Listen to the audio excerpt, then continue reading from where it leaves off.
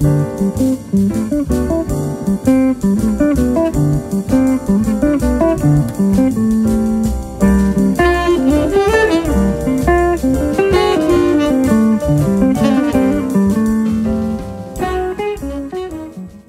it's Justin Colletti of Sonic Scoop, and welcome back for some more MixCon. Today, we have on a great producer, engineer, mixer by the name of Marc Urselli. Marc is a three time Grammy winner who works not only in the studio, but also in live sound, doing front of house with some major artists. He's worked with the likes of U2, Foo Fighters, Nick Cave, Lou Reed, Sting, John Zorn, and so many more. He's worked in rock, pop, metal, jazz, experimental genres, really all over the map. And today he's going to be taking us through a masterclass that is not only about mixing, but about where the mix starts, about the fact that the mix starts with the microphones. He is going to be taking us through a look at mic techniques and microphone choices in the context of the mix to give us a sense of what tracks should sound like before you even get to the mixing stage and how you might treat live played instruments in the mix with a special focus on exactly how to get good sounds out of them to begin with on the recording end. He's going to be taking us through two different songs in two different genres to get an idea for his favorite techniques, favorite mic placements on a variety of instruments, and then how he processes those raw sounds, how they sound when they start out at the beginning of the mix, and just how far he takes them by the end of the mixing process. Like all MixCon masterclasses, this one is free to the public thanks to our sponsors, and the sponsor on this one is a natural fit. It is JZ Microphones. Marc Urselli has been using JZ microphones for years. He even has a custom made stereo microphone that JZ built special just for him. And he has a whole bunch of their regular mics as well. One of his personal favorites being the JZ Black Hole. And we'll hear a variety of their microphones and others in the session today. And Marc is even going to take us on a tour of his mic locker, looking at not only his condenser microphones, but also his favorite dynamic and ribbon microphones. He's got a huge collection of those, and he'll give us his tasting notes on a whole bunch of microphones and his recommended applications for each. Speaking of microphones, I am talking into a JZ microphone right now. I use JZ microphones all the time on the Sonic Scoop podcast and in the videos. Right now, I'm talking to my JZ Amethyst, which is a really full bodied but extremely detailed condenser. This one is an amazing value, like so many of the JZ microphones. I encourage you to go check them out. We'll have a link to their website down in the description and in the comments. But while these microphones are a tremendous value, you can also get one for free because right now we are giving away $5,000 worth of free gear in the MixCon mega giveaway. We're giving away mics, we're giving away speakers, we're giving away plugins, we're giving away all sorts of stuff, and you have three chances to win. So go look for the MixCon mega giveaway if you're checking out this video when it comes out. We'll have the link to that in the description and the comments down below as well. If you're liking what you see here, remember to hit the like button, hit the subscribe button, hit the notifications bell so you don't miss any more MixCon videos when they come out. Better yet, go over to sonicscoop.com, sign up for our newsletter there, and we will inform you via email whenever we have a new MixCon video coming your way. One more quick note, we are doing a live Q&A with Marc as soon as this main masterclass concludes. We'll have the link to that in the description and in the comments down below. If you have any questions and you're catching the live premiere of this masterclass, just type them into the chat box on your screen. I'll be saving the best questions for that live Q&A coming up right after this masterclass is over. All right, without any further ado, let's get right into it. Marc Urselli, take it away. Hi, my name is Marc Urselli. I'm a Grammy Award winning engineer and producer.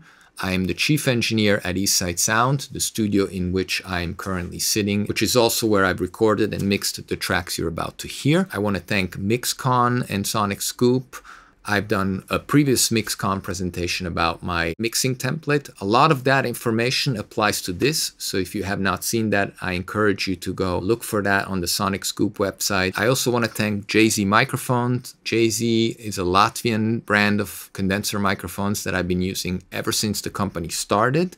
I love their microphones especially the BH1S, which is one of my favorite vocal microphones. And the little brother of the BH1S is the BB29, which you see here, and that I'm actually using here as a vocal mic for this presentation. JZ has definitely been very present in my studio for a long time, and you will see more about JZ when I take you to the mic locker of Eastside Sound, which is one of the most amazing places. I love to be in the studio. By the way, Eastside Sound is the oldest studio in New York City. It's been opened in 1968 by Lou Holtzman and it's currently owned by Andres Pollak. Both Lou and Andres have a deep love for recording music at the highest quality. And so I'm very proud to be the chief head audio engineer at Eastside Sound and to be involved in a studio that has such an amazing jazz history. And since we're talking about jazz history, let's start with the first track from this presentation, which is the great George Coleman. George Coleman is an 89 year old incredible saxophone player who has played with Miles Davis, Herbie Hancock, just to mention two of the most influential musicians of our time, but also with a slew of many, many, many other people. He's an incredible saxophone player and jazz composer and I've had the great pleasure and honor to record and mix his newest album, which is at the time of this shooting not even out yet. So, depending on when this will be out, I don't know if it'll come out before the record or not, but you might be hearing something absolutely for the first time. The same is true for the other two songs I'll be playing you, which are by David J. of Bauhaus. David J. is the bass player of Bauhaus. He's also in Love and Rockets, and he has done a new record that I've produced, recorded, and mixed here at Eastside Sound. And you'll be hearing two songs from that album, also unreleased as of yet. So I'm going to start by playing you this George Coleman track called 5-4 Thing. First, I'm going to play you actually the rough mix. The rough mix is basically what came directly from the other side of the glass over there, which I'll show you later, by the way. So you'll hear George talking at the beginning, counting it off. I'll play you a minute of that and then we'll stop and I'll play you the track. Here's the rough mix. Okay. All right. Rhythm on top. One, two, three, four, five. Two, three, four, five.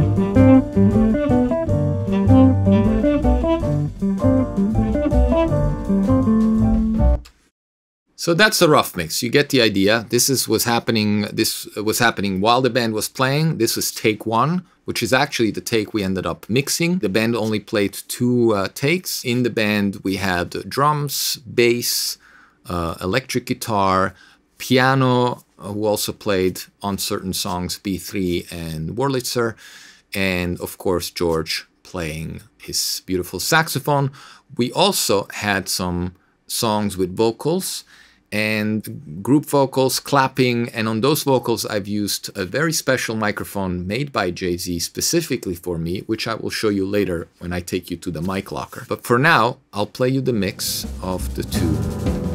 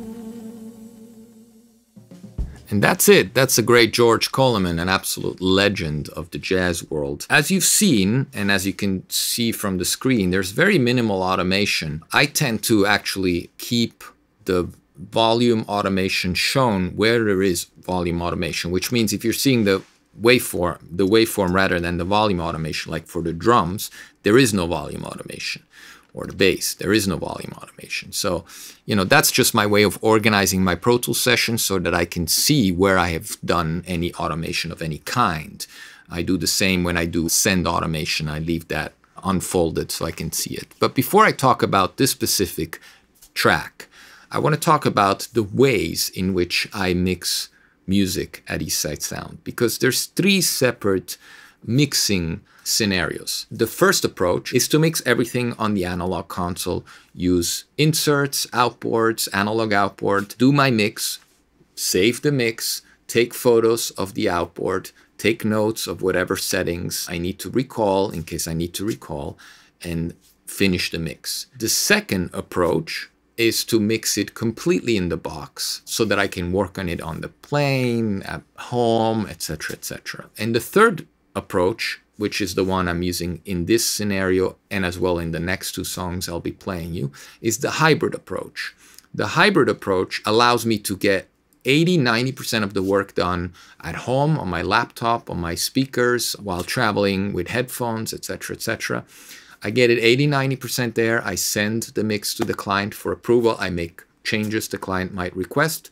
And then i bring it into the studio and I spread out the outputs on the console and I use a little bit of outboard where necessary, particularly on the mix bus. That's the approach I'm using today. So what you're hearing here, and you will be hearing the next two songs, is a hybrid approach of plugins and outboard, where the outboard I'm using is primarily the Manley Passive EQ and the Shadow Hills mastering compressor. But that's in addition to whatever I'm doing here. So basically I'm using compressors, EQs, etc. as plugins so that I can work in the box. And the other key component to this is that I'm doing analog summing from the console. So this console, as I mentioned before, it's called a Neve Genesys, allows me to have two layers, a analog layer, which is this, uh, and a digital DAW controlling layer, which is the one that talks to Pro Tools. So I basically, on my analog layer, I get my first levels. I usually start with all faders at zero and make whatever changes I want to make once I'm hearing it here in the studio. And then on the digital layer, I do my automation. So that's the mix approach we're discussing today. So basically we have a drum set which is recorded with dynamic condenser, snare top and bottom, hi-hat, tom 1, tom 3, which was the floor tom, and two mics on the overhead. That sounds like this.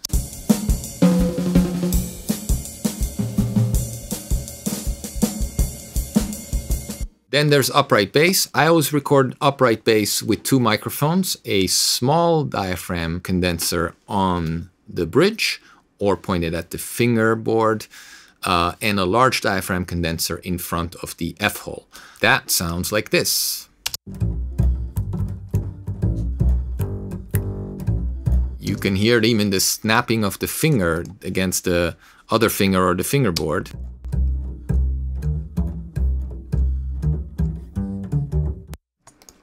And the large diaphragm sounds like this. That's going to be fuller and rounder. Piano is actually very interesting because I record piano with two microphones right over about a foot over the strings. I'll show you those microphones later when we go into the live room.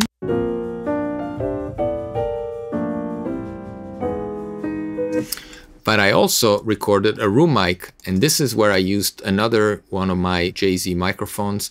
One that unfortunately you can never have because it was custom designed for me. And when we go to the mic locker, I will show you that microphone. That microphone, which sounds like this, is the room mic. I mix the two signals together and they sound like this. Now I always record DI and amp for safety and in case I want to do a stereo thing with an amp simulator on the DI and a real amp.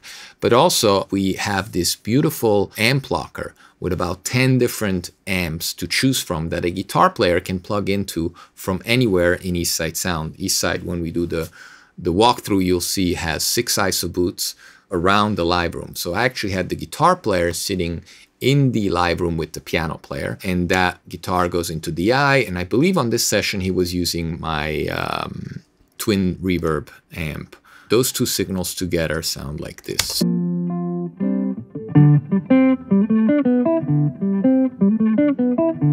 Last but not least, certainly not least, we have George Coleman, who is the star of this uh, song. I recorded George with two microphones, a condenser and a ribbon, and this is how I usually record horns. Now, once we go to the mic locker, you will see that I'm a huge lover and uh, user of ribbon microphones. I have one of the largest collections of ribbon mics. I'm very proud of that collection in that collection, there's a ton of incredible microphones, one of which I've used on this recording, and that sounds like this.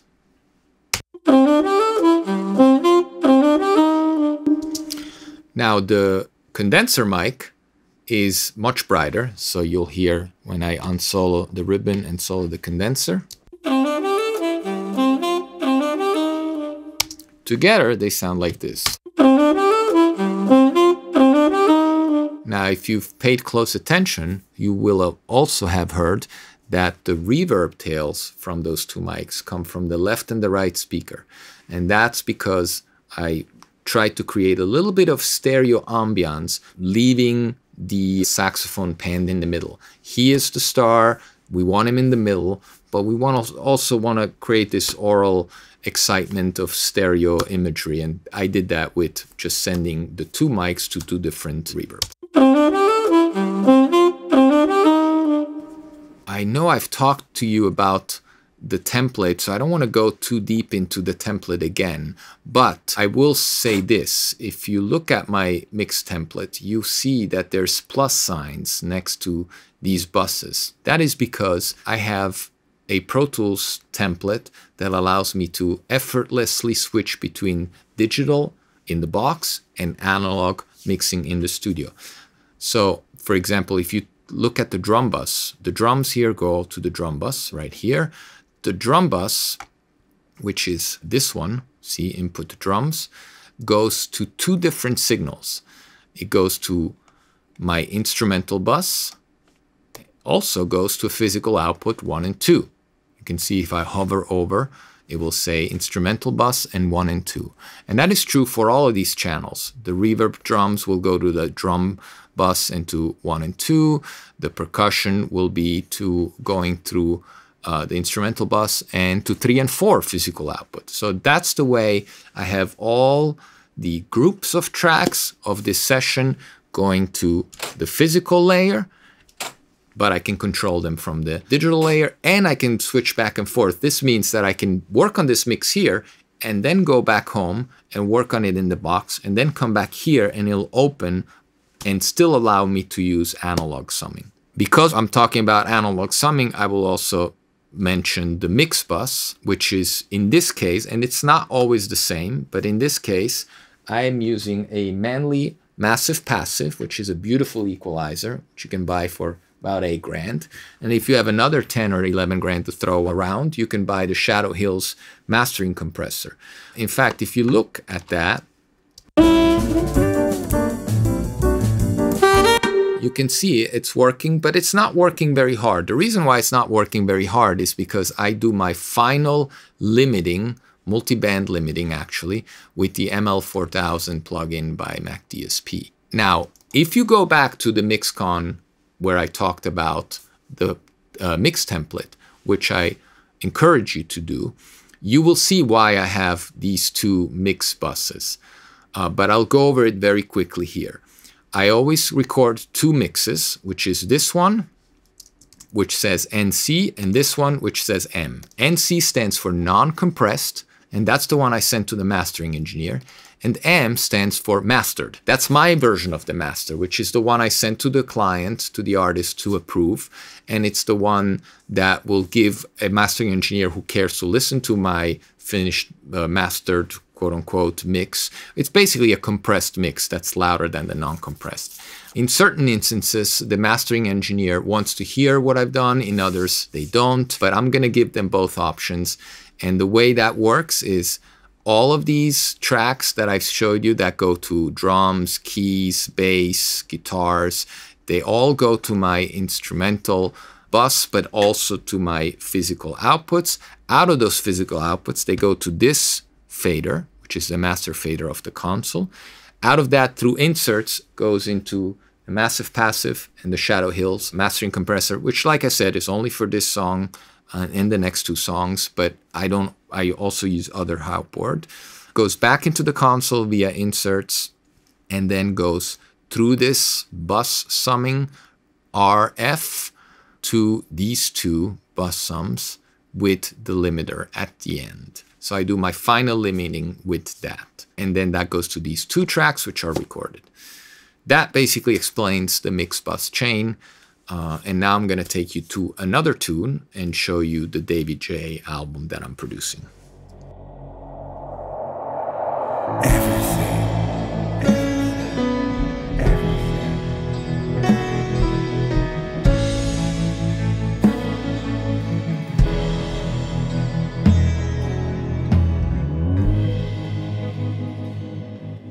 Okay, so this mix breakdown, as you can see, there's a little bit more going on compared to the previous George Coleman jazz session. There are drums, and as I explained earlier, I like to keep open the tracks that have automation so I can remind myself of what's going on, or even reverb automation, like in this case on the snare.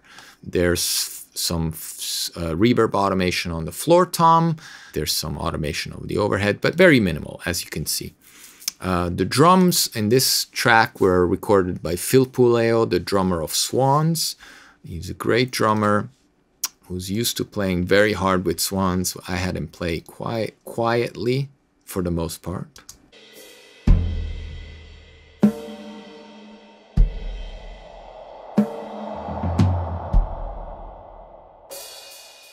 So that's our drum sound very reverby, very watery, very spacey, because that's what I thought as the producer that the track required. There's also, remember how before I told you about the stereo mic that JZ made for me?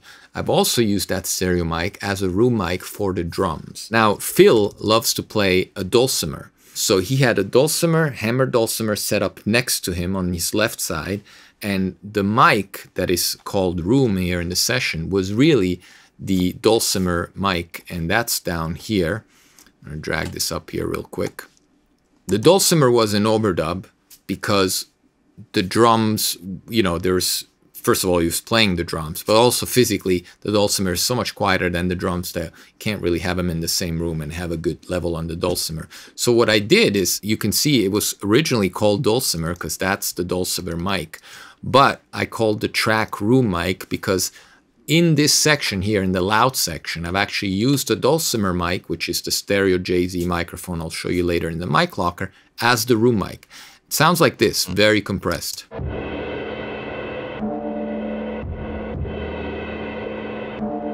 Super crushed, but together with the drums, it's like it goes like this.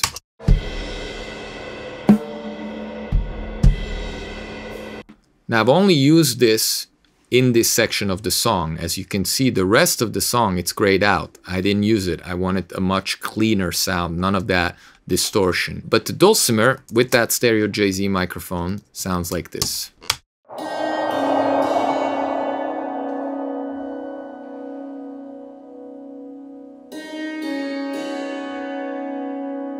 Tons of reverb on this as well. Obviously, as you might have gathered, guessed, this is a very reverby album by choice, piano.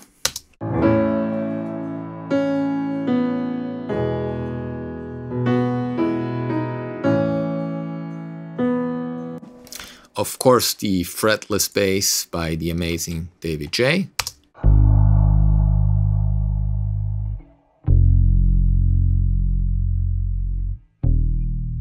I love fretless bass, and so working with David was really a uh, pleasure.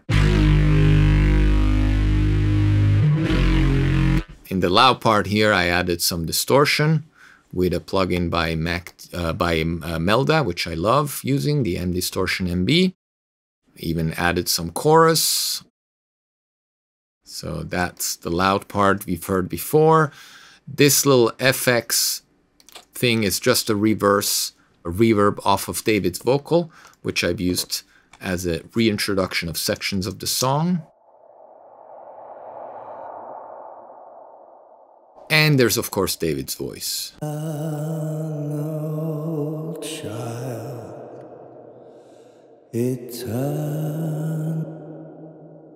You can see also this automation here. That's automation on the reverb and on the delay below. And again, I keep those open to show myself when I reopen this file later what I've been doing on this song.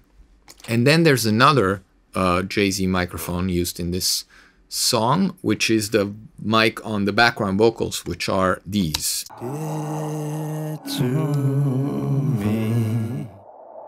These vocals uh, were um, by the piano because the pianist, Paul Wallfisch, is also a singer, and therefore I needed another uh, microphone that I really trust. The JZ Black Hole has been one of my absolute all-time favorite vocal mics. I own two of them because I like them so much. And so that's the one I put on the piano vocal. And then there's guitar. This is Johnny Polonsky, who's an amazing guitar player who lives in LA. Again, like with the jazz session from before, there are there is a DI and there's an amp, and to get together they sound like this.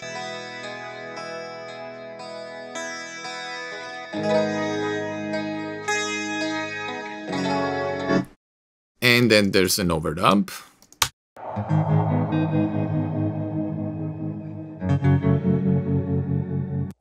And finally, there's a harmonium.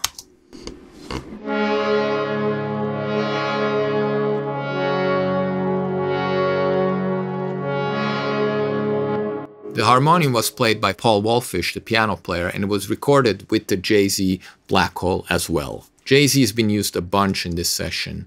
You can see from the, if I zoom out on the session, that they've done five takes and that we've used the fifth take. That's the one where I've done all my mixing basically.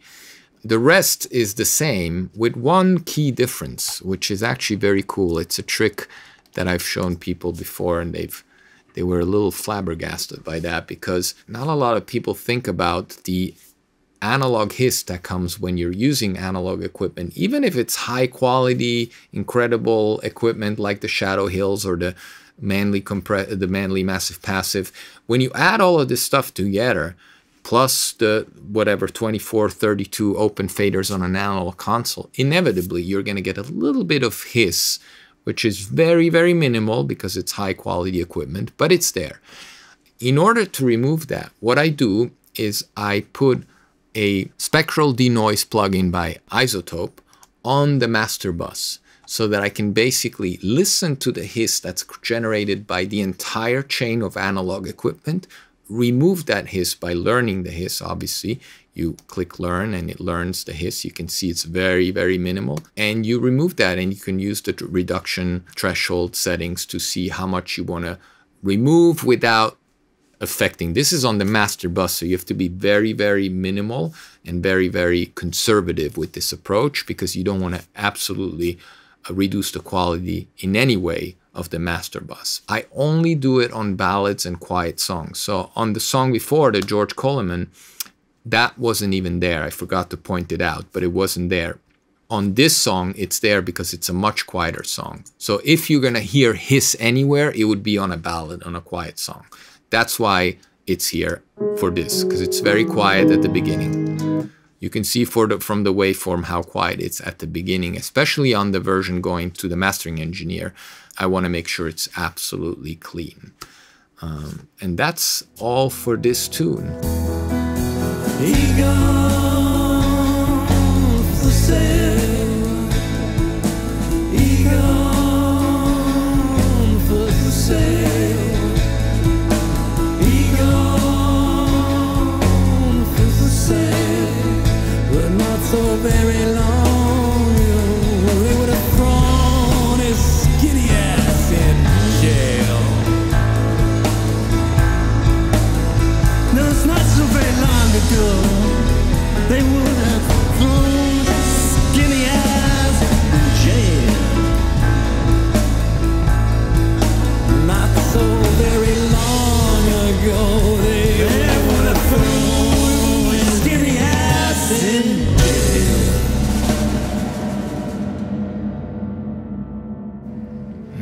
Long reverb coda, little final guitar chord. I don't need to repeat myself because it's the same session from the previous song. So it's the same exact microphones, it's the same exact track count pretty much. There's no dulcimer overdub, there's no harmonium overdub, there's a couple of background vocal overdubs, which were done with the JZ Black Hole. The lead vocal here is the JZ Black Blackhole. Oh, there is this this thing is maybe of interest. The fact that I have a print VCA which basically is connected to all of the buses in my uh, template. You can see plus 2.2 here, 0 plus 2 point, plus 4. So what that does is it turns up all my subgroups and physical outputs uh, wherever there's a plus uh, by 4 dBs in this case. What that does is it makes the mix louder, but it makes the compressor work harder. So whenever I want to make the shadow hills, in this case, compressor work harder, I send more signal out. So I can also decide the level of compression that I want or the level of at which the compressor should work so that we don't hear the compressor, but we can achieve optimal leveling. And again, like with all the other songs, you can see there's two mixes, one non-compressed, one mastered. I think that just about sums it up for this mix presentation here in the control room. Now we're gonna go take a look at the live room where I'll be talking about where these different microphones and musicians were placed so that you can have a visual um, uh, reference of what you just heard. Thank you so much for watching. Again, my name is Marc Urselli. You can check out my website at marcurselli.com. That's M A R C U R S E L L I. I'm happy to answer any questions if you email me, so I hope to hear from you soon. Welcome to the Eastside Sound Mic Locker. This is one of my favorite spaces in this room. It uh, is a place where three different mic collections have come together. Eastside Sound, founded in 1968 by Lou Holtzman, has a lot of mics in here. Uh, Andres Pollack, the new owner of Eastside Sound, had a studio in South America, which he brought here. So there's a ton of microphones here from his collection. And then there is my collection, which is mostly ribbon microphones because I love ribbon microphones. And actually my collection is not all here, but some of the most important pieces are here. So the way I have organized this mic locker is by provenance and type. For example, on this shelf, we have all Japanese ribbon microphones. So there's 1960s, 1930s, 1940s, 1960s, all different stuff.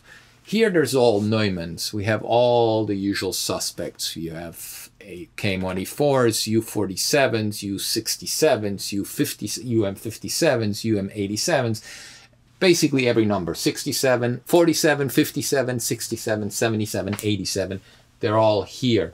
There's more of them down here the new M49s, the vintage U67 tube mics. Then we have more ribbons here. So we have Italian ribbons. I grew up in Italy, so I've been scouring those Italian audio markets for great ribbons from Italy. British ribbons, American ribbons, and Polish and French ribbons down here. And then there's of course the RCA shelf with all the classic RCAs. But last, last but not least, there is the JZ microphones shelf. So in this shelf, we have some of the uh, JZ microphones that I've been using on that on these sessions uh, from this mix presentation. In particular, there is the J- Black Hole of which I own two. There's the BH1 and the BH1S. This is the BH1S. Now, JZ mics, this is one of my favorite vocal mic. It's also the mic you've heard on uh, the background vocals and Paul's vocals on the David J record. This mic has a beautiful shock mount, which JZ does not make anymore, uh, but which I use with much pleasure because it has a built-in pop filter. So the mic slides in like that, and you can adjust the the uh, distance that you want on the on the pop filter. So this is very very convenient. And I use this, have this in its own special case. So even the shock mount gets a special case. But to show you a few other mics that are not JZ, in the RCA shelf, I'm gonna take out one of the oldest RCAs, the RCA KU3A. This is the microphone that was used to record George Coleman's saxophone. This is a wonderful, heavy RCA ribbon microphone in perfect working condition, maybe not perfect aesthetic condition, but I love this mic so much. It's a unidirectional microphone, which is rare among ribbon microphones. Uh, but in the early days of RCA, 30s and early 40s, they were still doing a unidirectional microphone before they went to figure eight. So here's some other very cool microphones. This, this right here is also known as the skunk microphone. This is the KU2A. It's called the skunk microphone because it's got the white thing to signal the back in case the words back were not clear enough. Obviously, this is the front where the RCA logo is. I do have the original shock mount, which, you know, you put, put the mic through. It's a very heavy microphone, unidirectional microphone. Like I said, early days RCAs, that's what they were doing. Another great microphone, of which I own four, is the Melodium 42B. This is a beautiful ribbon microphone from the 1940s. Perfect condition, aesthetically speaking, perfect working condition. This is the vintage version, not the 42BN, which is the new version with XLR. This is a 42B, which has the old French connector. So these are beautiful. There's some very rare microphones like the Allocchio Bacchini, an Italian mic from the 1920s. I'll show you that real quick.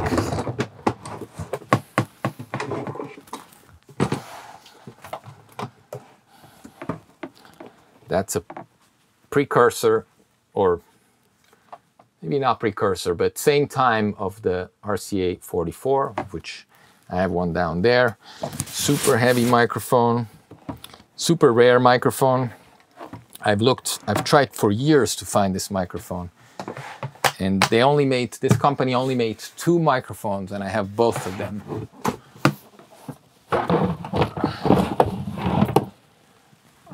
In the world of the ribbon microphones from England, which was another great place.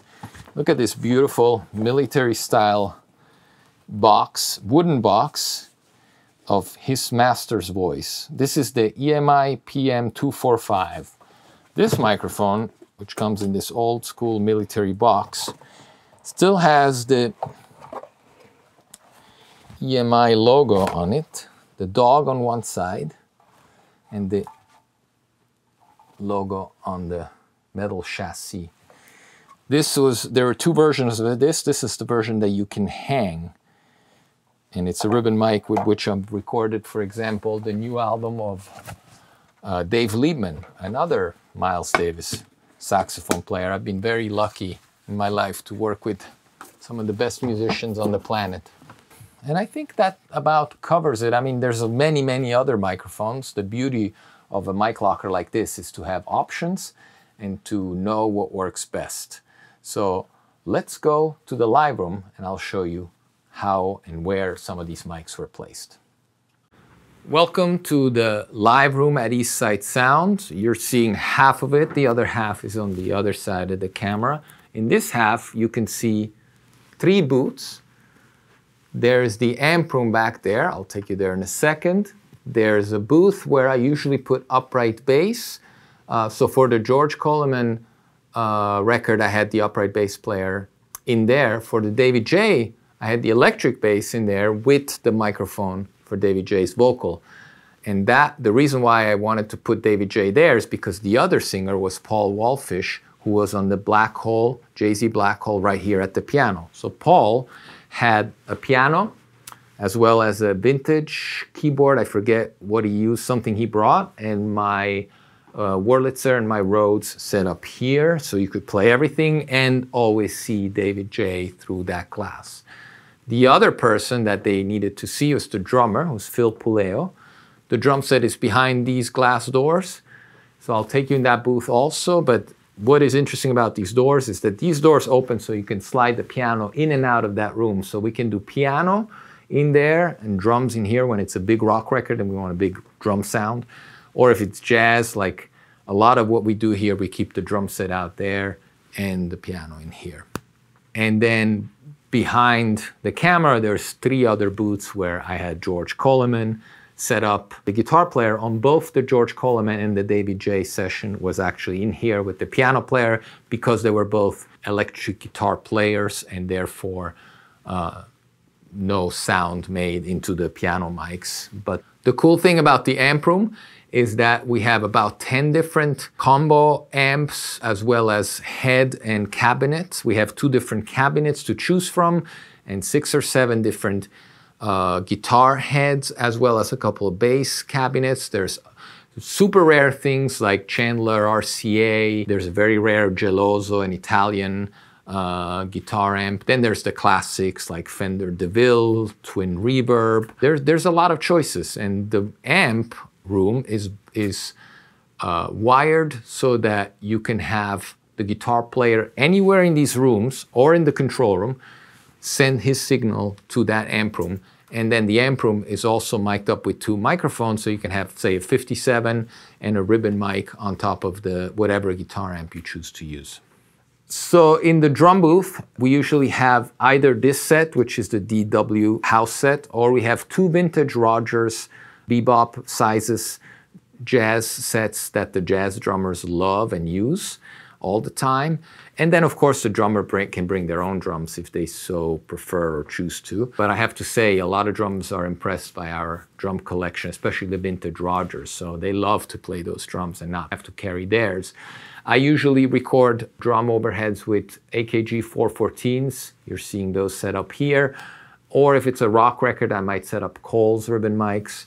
I use MD421s for toms, I use a 57 and an 81 for snare, and I use a Lewitt dual element uh, dynamic condenser on the kick drum. That about sums it up for the live room at Eastside Sound. I hope you found that uh, interesting and enjoyable. We are located in New York City. I encourage you to come down and visit us, and I'll be happy to give you a tour. And if you, anyone wants to record here, uh, you're seeing how versatile this setup is. We make all sorts of records here, jazz, rock, classical music. The songs you heard in the control room were all recorded here, so you can hear how those sounds translate in a finished mix. We have a beautiful Steinway uh, piano with Renner Action, 1981 New York Steinway. We have a B3, we have Wurlitzer Rhodes, three drum sets, tons of amps there's choices, so come on by. All right, I hope you enjoyed that mixing masterclass as much as I did. Marc did a tremendous job taking us through not only mixes, but also mic techniques and mic choices. So, a lot of fun seeing his mic locker. Big thanks again, not only to Marc, but also to JZ Microphones for helping make this one free to the public.